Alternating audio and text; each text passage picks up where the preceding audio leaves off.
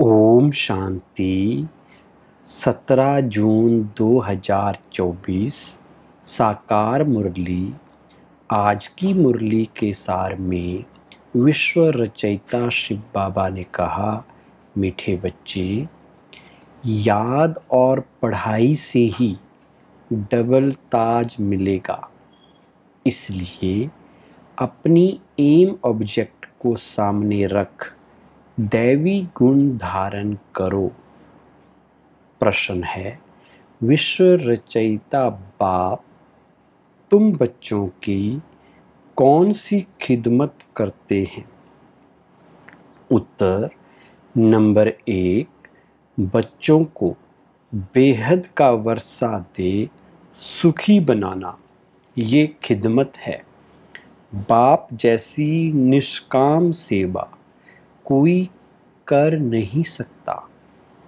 Number दो, बेहद का बाप किराए पर तखत लेकर तुम्हें विश्व का तखत नशीन बना देते हैं। खुद ताउसी तखत पर नहीं बैठते, लेकिन बच्चों को ताउसी तखत पर बिठाते हैं। बाप के तो जड़ मंदिर बनाते उसमें उन्हें क्या टेस्ट आएगा? मज़ा तो बच्चों को है, जो स्वर्ग का राज्य भाग्य लेते हैं। धारणा के लिए मुख्य सार है, नंबर एक, इस दुख धाम से बुद्धि योग निकाल, नई दुनिया स्थापन करने वाले बाप को याद करना है। सतो प्रधान बनना है। नंबर दो, बाप समान, प्रेम का सागर, शांति और सुख का सागर बनना है। कर्म, अकर्म और विकर्म की गति को जान सदा श्रेष्ठ कर्म करने हैं। आज की मुरली का वरदान है सदा उमंग उत्साह में रह। मन से खुशी के गीत गाने वाले, अविनाशी खुश नसीब भव।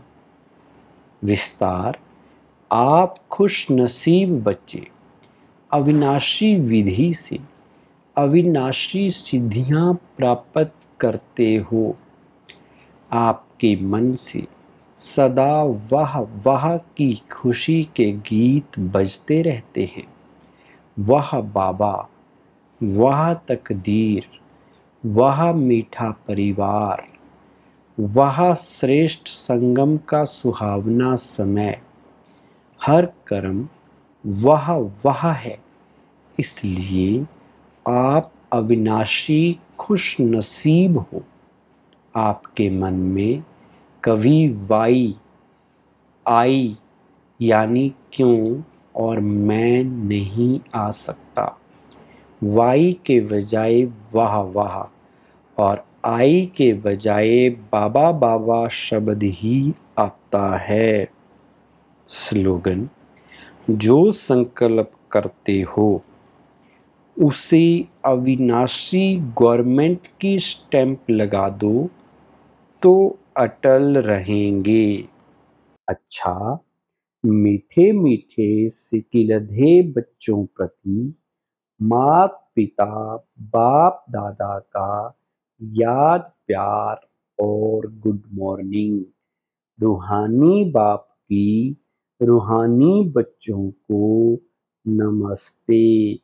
हम रूहानी बच्चों की रूहानी माँ पिता बाप दादा को नमस्ते।